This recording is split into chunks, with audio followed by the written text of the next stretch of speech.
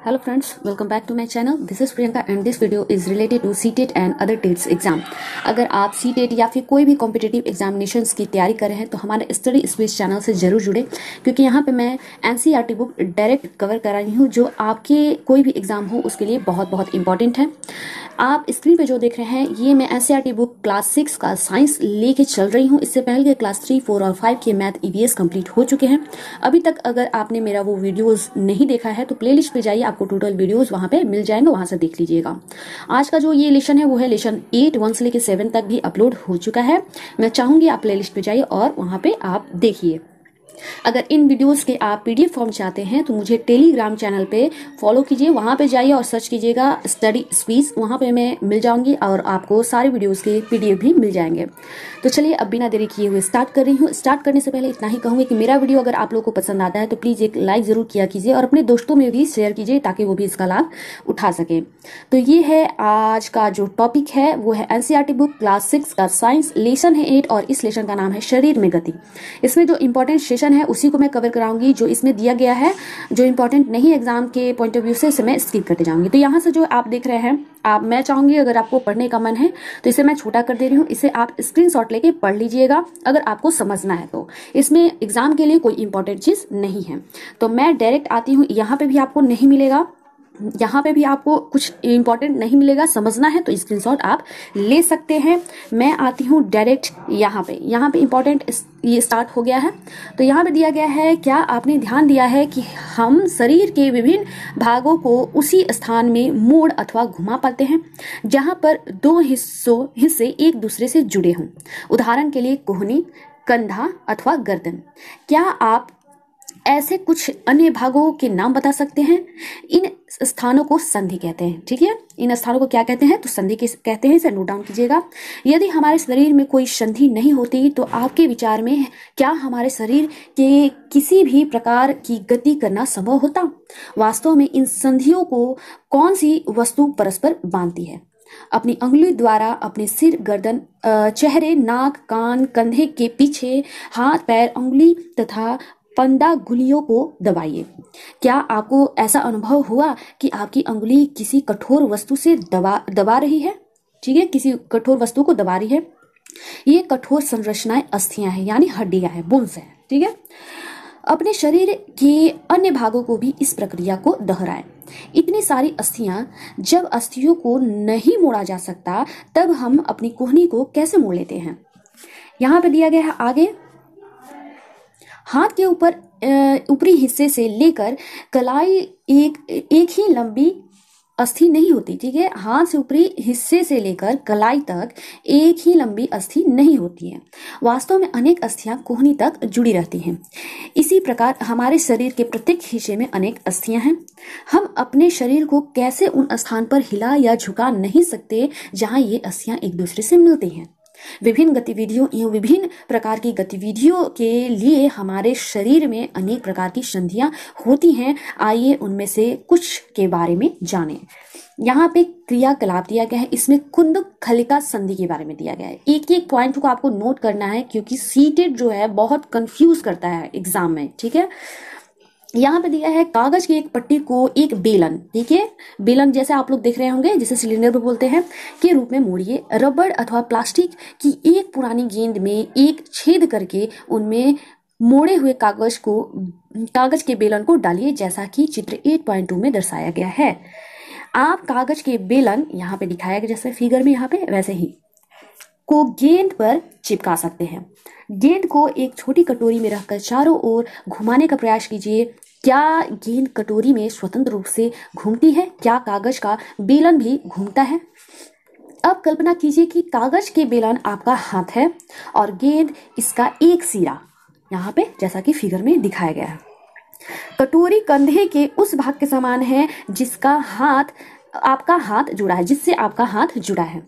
एक अस्थि का गेंद वाले गोल हिस्से दूसरी अस्थि की कटोरी रूपी गुहिका में ढसा हुआ है। यहाँ पे नीचे भी फिगर भी दिखाया गया है। इस प्रकार की संधि सभी दिशाओं में गति प्रदान करती है। क्या आप इन अस्थियों में उपरोक्त प्रकार की संधि का कोई अन्य उदाहरण खोज सकते हैं? यहाँ पे देख लीजिए, ध्यान से देखिएगा और मैं चाहूँगी इसको आप फिगर सहित नोट डाउन भी कर लीजिएगा कि फिगर से क्या होता है कि थोड़ा दिमाग में फिट हो जाता है। आगे मैं डायरेक्ट आती हूँ यहाँ पे सॉरी धुराग्र संधि के बारे में। धुराग्र संधि क्या होती है? इसमें डिफिनेशन दिया हुआ है। गर्दन तथा सिर को जोड़ने वाली संधि धुराग संधि है। इसे नोट डाउन कीजिए। इससे इसके द्वारा सिर को आगे पीछे या दाएँ बाएँ घुमा सकते हैं। इसे भी आप नोट नोट डाउन कीजिएगा। इन गतियों को करने का प्रयास कीजिए। यह हमारा गति हमारे हाथ की उन गति से किस प्रकार भिन्न है? जिसमें कुंदुक कंदुक खलिका संधि द्वारा हाथ को पूर्णतः वृत्ताकार, यानी गोल, रूप में घुमा सकते हैं। धुराग्र संधि में बेलनाकार अस्थि एक छल्ले के रूप में घूमती है। यहाँ पे दिखाया गया है, धुराग्र संधि किसे कहते हैं? ठीक है? अब हिंज संधि। घर में, घर के किसी दरवाजे को बार बार खोलिए और बंद कीजिए। इनके कब्जों को ध्यान से देखिए। यह दरवाजे को आगे और पीछे की ओर खुलने देता है। यहाँ पे दिया गया है क्रियाकलाप। इसे स्क्रीनशॉट लेके आप बढ़िया से पढ़ लीजिएगा। मैं डायरेक्ट आती हूँ यहाँ पे। यहीं से ले लेती हूँ। जो कुछ हमने बनाया था, वह एक हिंज से भिन्न है, लेकिन इससे यह पता चलता है कि हिंज एक दिशा में गति होने देता है। कोहनी में हिंज यानी कब्जा, ठीक है? संधि होती है, जिससे केवल आगे या पीछे एक ही दिशा में गति हो सकती है। क्या आप ऐसी संधि के कुछ उदाहरण और सोच सकते हैं? यहाँ पे भी दिखाया गया है घुटने की हिंस संधि के बारे में। ऊपर जो दिखा रहा है वही है घुटने की। अब अचल संधि के बारे में बताया गया। हमारे शरीर की अस्थियों के बीच में कुछ संधियाँ उन संधियों से भिन्न है जिनकी चर्चा हमने अब तक की है। ये अस्थियाँ इन संधियों पर हिल नहीं सकती, ऐसी संधियों को अचल संधि कहते हैं। जो हिल नहीं सकती है, उसे अचल संधि कहते हैं। सबको आपको नोट डाउन करना है। कितनी संधियाँ होती हैं, सबको नोट डाउन करना है। जब आप अपना मुँह खोलते हैं तो आप अपने निचले जबड़े को सिर से दूर ले जाते हैं। अब आपके ऊपरी जबड़े को हिल, हिलाने का प्रयास कीजिए। क्या आप इसे गति दे पाते हैं? ऊपरी जबड़े का एवं कपाल के मध्य अचल संधि है, यानी हम लोग उसे हिला नहीं सकते हैं। नीचे वाले जबड़े को हम लोग हिला सकते हैं।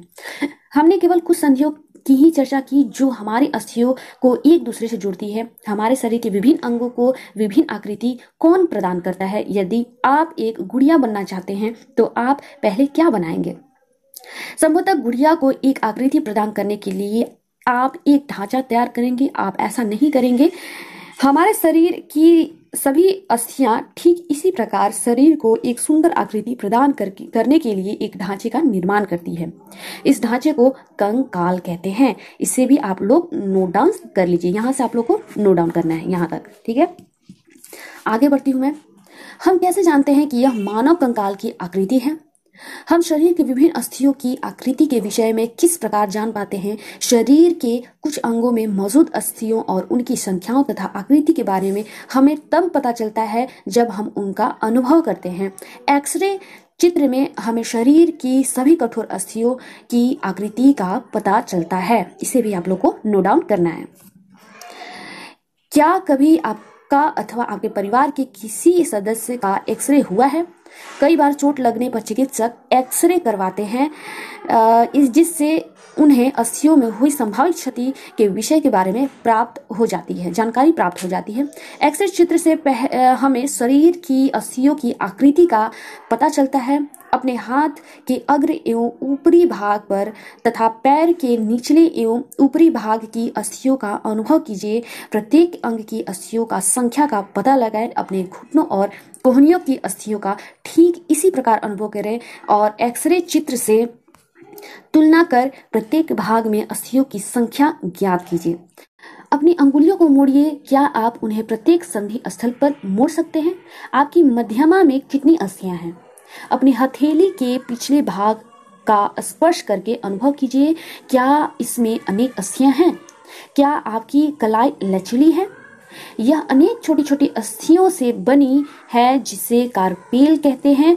यदि इनमें मात्र, यदि इनमें मात्र एक ही अस्थि होती तो क्या होता? ये क्वेश्चन किया है, लेकिन यहाँ पे आपको नोट डाउन करना है इंपॉर्टेंट है। यहाँ पे क्रियाकलाप चार्ट दिया हुआ है, इसमें दिया गया है, गहरी सांस भर के इसे कुछ समय तक रोकिए, अपने वक्ष एवं पीठ को हल्के से दबाकर अपनी अस्थियों का अनुभव कीजिए। जितनी पसलियाँ पसलियों को आप गिन सकते हैं। गिन लीजिए चित्र 8.10 को ध्यान से देखिए और वक्ष की अस्थियों की तुलना अपने उपयुक्त अनुभव से कीजिए। हम देखते हैं कि पसलियाँ विशेष रूप से मुड़ी हुई हैं। यहाँ पे फिगर में आप देख रहे हैं 8.10 में। वे वक्ष की अस्थि एवं मेरुदंड से जुड़कर एक बक्से की रचना करती है। इस शंकु रूपी बक्से को पसली पिंजर कहते हैं। इसे भी नोट डाउन कीजिएगा। वक्ष के दोनों तरफ़ बारह पसलियाँ होती हैं। बहुत इंपॉर्टेंट है नोट डाउन करना है। हमारे शरीर के कुछ महत्वपूर्ण अंग इसमें सुरक्षित हैं। अपने कुछ मित्रों को बिना घुटने मोड़े झुककर अपने पाँव की अंगुलियों उंगलियाँ छूने को कहिए। क्या यह चिकनी समतल अथवा अखंड है? अपनी अंगुलियों को अपने मित्र की गर्दन से प्रारंभ करके उसकी पीठ की निचली ओर लाइए। आपके द्वारा अनुभव की गई संरचना मेरुदंड है। यहाँ पे फिगर दिखाया गया है मेरुदंड का। अनेक छोटी छोटी अस्थियों से बना है, जिसे कशेरुका कहते हैं। मेरुदंड तैतीस कशेरुका से बना है। इन सबको नोट डाउन करना बहुत बहुत इंपॉर्टेंट है। पसली पिंजड़ भी वक्ष क्षेत्र की इन अस्थियों से जुड़ा है। यदि मेरुदंड केवल एक ही अस्थि का बना होता तो क्या आपका मित्र इस प्रकार नीचे झुक सकता? अपने मित्र को खड़े होकर हाथों से किसी दीवार पर धक्का देने के लिए कहिए। उसे कहिए कि वह अपने हाथ से दीवार पर धक्का, जैसा कि एट सॉरी लगाने का प्रयास करे। क्या आपको उसके कंधों के समीप दो उभरी हुई अस्थियाँ दिखाई देती हैं? इन्हें कंधे की अस्थियाँ कहते हैं, यहाँ पर फिगर में दिखाया गया है। चित्र 8.13 को ध्यानपूर्वक देखिए। यह संरचना श्रोणी अस्थियाँ हैं, नीचे दिखाया गया है। यह बॉक्स के समान एक ऐसी संरचना बनाती है जो आपके अमाशय के नीचे पाए जाने वाले विभिन्न अंगों की रक्षा करता है। यह कुल्हे वाला वह हिस्सा है जिसके सहारे आप बैठते हैं। यहाँ पे आप फिगर देख रहे हैं।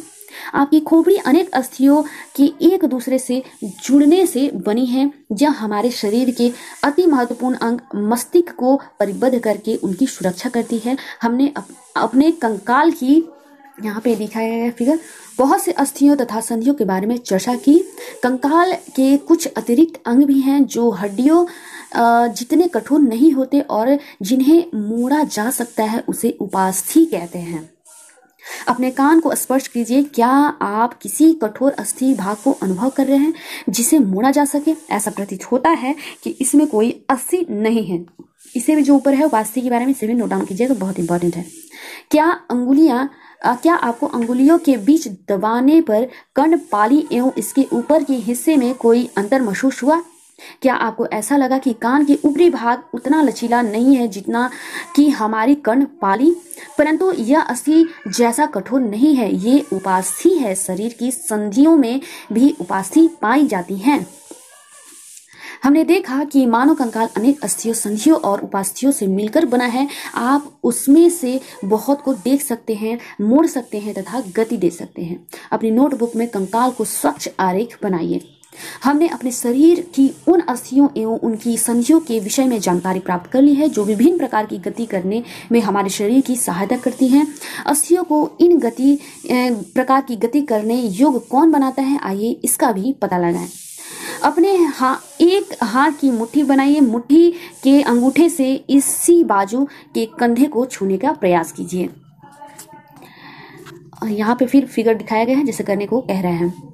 क्या आप अपनी ऊपरी भुजा में कोई परिवर्तन अनुभव करते हैं? दूसरे हाथ से इससे छू कर देखिए, क्या आपको कोई उभरा हुआ भाग दिखाई देता है? इसे पेशी कहते हैं। संकुचित, यानी संकुचित मतलब होता है लंबाई में कमी। ठीक है? संकुचित होने के कारण पेशियाँ उभर जाती है। यहाँ पे देखिए, दिखाया गया है ए और बी में। अब आप अपने हाथ को पुनः समान स्थिति में लाइए। पेशियों का क्या होता है? क्या यह अभी भी संकुचित अवस्था में है? चलते अथवा भागते समय आप अपने पैरों की पेशियों पेशियों में भी इस प्रकार का संकुचन देख सकते हैं। संकुचन की अवस्था में पेशी छोटी एवं कठोर एवं मोटी हो जाती है या अस्थि को खींचती है। सबको नोट डाउन करना है, बहुत इंपॉर्टेंट है। जितना यहाँ पे दिया गया है, बहुत इंपॉर्टेंट है। यहाँ पे बढ़ती हूँ, किसी अस्थि को गति प्रदान करने के लिए दो पेशियों को संयुक्त रूप से काम यानी कार्य करना होता है। इसे भी नोट डाउन करना है। जब तक दो पेशियों में से कोई एक सिकुड़ती है तो अस्थि उस दिशा में खींच जाती है। युगल की दूसरी पेशी, यानी शिथिल, जैसे लंबाई बढ़कर पतली हो जाना। शिथिल को कहते हैं, लंबाई बढ़कर पतली हो जाती है। अवस्था में आ जाती है। अस्थि को विपरीत दिशा में गति करने के लिए अब शिथिल पेशी सिकुड़ कर अस्थि को अपनी पूर्व स्थिति में खींचती है। जबकि पहली पेशी अब शिथिल हो जाती है, पेशी केवल खींच जाती है, वह धक्का नहीं देती है। टोटल को आपको नोट डाउन करना है, मैं कर दे रही हूँ छोटा आगे बढ़ती हूँ। अतः एक अस्थि को गति देने के लिए दो पेशियों को संयुक्त रूप से कार्य करना होता है।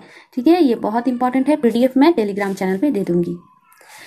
क्या गति के लिए हमेशा अस्थियों एवं पेशियों की आवश्यकता होती है? दूसरे जंतु किस प्रकार चलते हैं? क्या सभी जंतुओं में अस्थियाँ पाई जाती हैं? केचुए एवं घोंगे में क्या होता है? आइए कुछ जंतुओं की गतियों का अध्ययन करते हैं। जंतुओं की चाल यहाँ पे दिया गया है। फ़र्स्ट में दिया गया है केचुआ। ये भी बहुत इंपॉर्टेंट है। इसे भी नोट डाउन आप कर लीजिएगा। क्रियाकलाप पाँच में दिया गया है। बगीचे में चलते हुए एक केचुओं का निरीक्षण कीजिए। इसे पकड़कर एक शाही खोक या फ़िल्टर पेपर पर रखिए। इसकी गति का परीक्षण कीजिए। इसके पश्चात केचुओं को एक कांच की पट्टी, टुकड़े टाइल अथवा किसी चिकनी सतह पर रखिए तथा इसकी गति का परीक्षण कीजिए। क्या आप, क्या यह गति पेपर तथा केचुओं की गति से भिन्न है?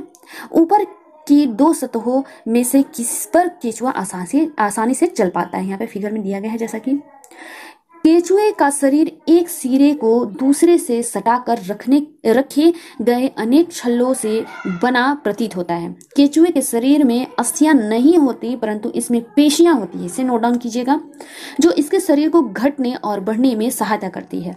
चलने के दौरान केचुआ अपने शरीर के पश्च भाग, यानी पिछले भाग को भूमि पर जकड़े रहता है तथा अग्रभाग यानी आगे भाग को फैलाता है। इसके बाद वह अग्रभाग से भूमि को पकड़ता है और पश्च भाग से स्वतंत्र कर देता है, जिसके पश्चात यह शरीर को संकुचित करता है तथा पश्च भाग को आगे की ओर खींचता है। इससे वह कुछ दूरी तक आगे बढ़ता है। केचुआ इस प्रकार के बार इस प्रकार को बार बार दोहराते हुए मिट्टी पर आगे बढ़ता है। इसके शरीर में चिकने पदार्थ होते हैं, जो इसे चलने में सहायता देते हैं।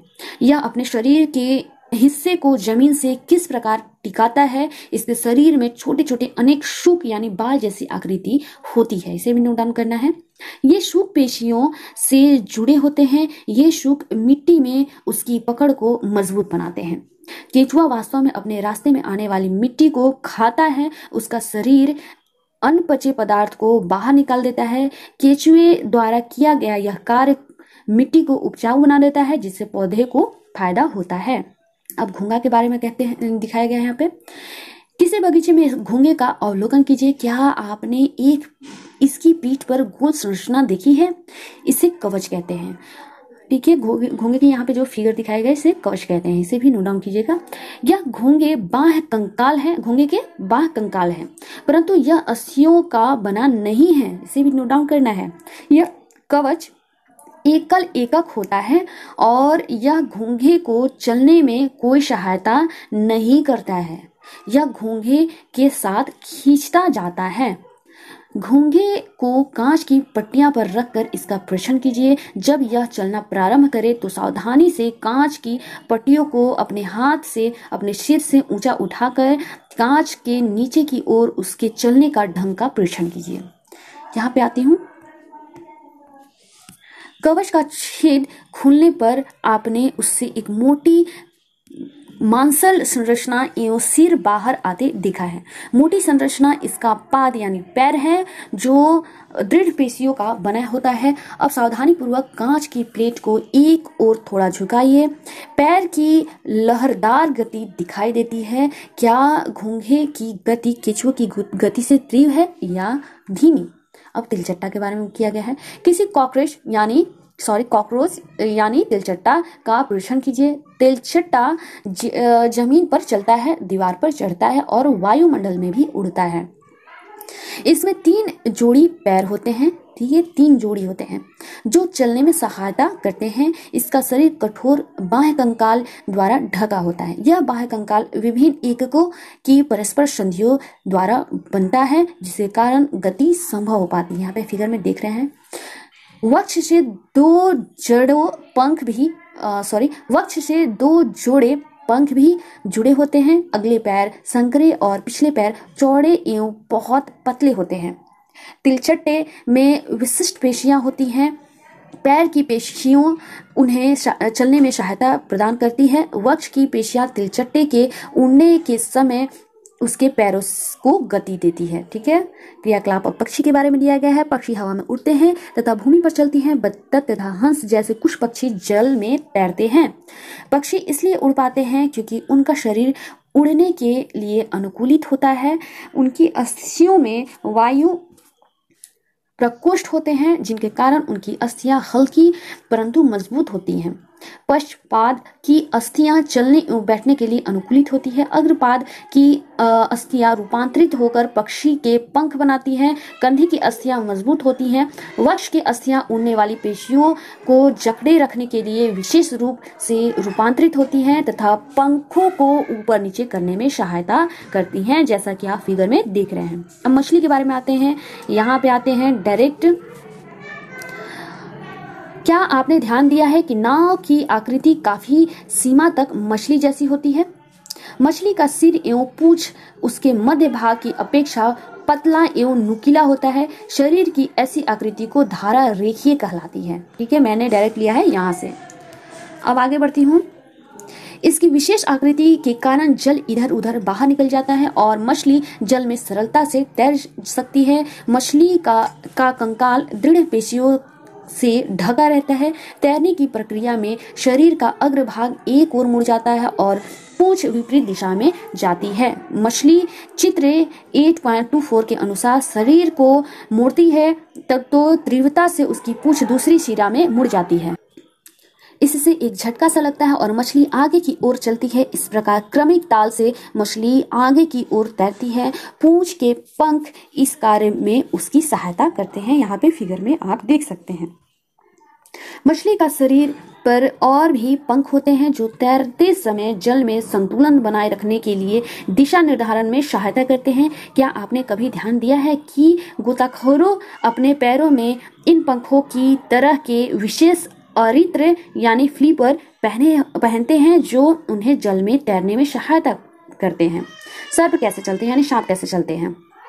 यहाँ से लेती हूँ मैं डायरेक्ट सर्प का मेरुदंड लंबा होता है, शरीर की पेशियाँ छिन्न एवं असंख्य होती हैं, वे परस्पर जुड़ी होती हैं। चाहे वे दूर ही क्यों ना हो, मांसपेशियाँ, मेरुदंड, पसलियाँ तथा त्वचा को भी एक दूसरे से जोड़ती हैं। सर्प का शरीर अनेक वलय से मुड़ा होता है। इस प्रकार सर्प का प्रत्येक वलय उससे आगे की ओर ढकेलता है। इसका शरीर अनेक वलय बनाता है और प्रत्येक वलय आगे को धक्का देता है। इस कारण सर्प बहुत तेज़ी तेज गति से आगे की ओर चलता है, परंतु सरल रेखा में नहीं चलता। हमने विभिन्न जंतुओं के गति प्रदान करने वाले पेशियों के विषय में जानकारी प्राप्त की। पहले, पहेली और बुझो के पिटारे में विभिन्न जंतुओं की गतियों से संबंधित अनेक प्रश्न हैं। इस प्रकार आपके मस्तिष्क में अनेक प्रश्न उभर रहे होंगे। प्रसिद्ध ग्रीक दार्शनिक अरस्तु ने अपनी बुक गेट ऑफ़ एनिमल्स में स्वयं अपने आप से ऐसे अनेक प्रश्न पूछे थे, विभिन्न जंतुओं के शरीर में विभिन्न भाग क्यों होते हैं? इसे भी आप नोट डाउन कीजिएगा अस्तु की जो बुक है, उससे उसका जो नाम है, उसे भी आपको नोट डाउन करना है। यह विशेष अंग उन जंतुओं के विशेष गति में किस प्रकार सहायक है? विभिन्न जंतुओं के शरीर अंगों में क्या समानताएँ एवं विभिन्नताएँ हैं। विभिन्न जंतुओं को चलने के लिए किन अंगों की आवश्यकता होती है? मनुष्य के दो पैर तथा गाय और भैंस के चार पैर क्यों होते हैं? बहुत से जंतु संपादी होते हैं। क्यों? हमारे पैरों में मुड़ने का ढंग हमारी हाथों की तुलना में अलग क्यों है? इतने अधिक प्रश्न संभवतः अपने क्रियाकलापों द्वारा हमने कुछ प्रश्न के उत्तर प्राप्त करने का प्रयास किया है। हमें कुछ प्रश्नों के उत्तर खोजने हैं। बेहतर जी, जीवन जीने योग्य। इसे भी आप नोट डाउन फ़िलहाल आप स्क्रीनशॉट लीजिएगा बढ़िया से पढ़ के नोट डाउन कीजिएगा। बढ़िया से नोट्स तैयार कीजिएगा। एक एक पॉइंट को आपको करना है नोट क्योंकि सीटेट है भाई कैसे भी क्वेश्चन पूछ सकता है। ये है रिकॉल सारांश दिया रहता है। इसमें रिकॉल बहुत अच्छे अच्छे दिए रहते हैं। इससे भी स्क्रीन ले लीजिए क्योंकि मेरा वीडियो काफ़ी लंबा हो जा रहा है। तो इसे भी आपको स्क्रीनशॉट लेना है। ये क्वेश्चन है, इसे भी आपको स्क्रीनशॉट लेके प्लीज़ इसे ज़रूर कीजिएगा, क्योंकि ये मुझे फ़ायदा नहीं, ये आपको फ़ायदा करेगा। ठीक है टोटल को आपको करना है। तो ये था आज का हमारा लेसन जो हो गया है अब समाप्त। तो अगर मेरा वीडियो आप लोगों को पसंद आता है तो प्लीज़ एक लाइक ज़रूर किया कीजिएगा। मैं हर एक वीडियो में आप लोगों से रिक्वेस्ट करती हूँ शेयर भी कीजिएगा और कॉमेंट में अपना राय दीजिएगा, जिससे मुझे भी पता चलता है कि आपने मेरे वीडियो को अच्छे से देखा है। तो चलिए, मिलती हूँ नए वीडियो में नई जानकारी के साथ। मिलते हैं, धन्यवाद।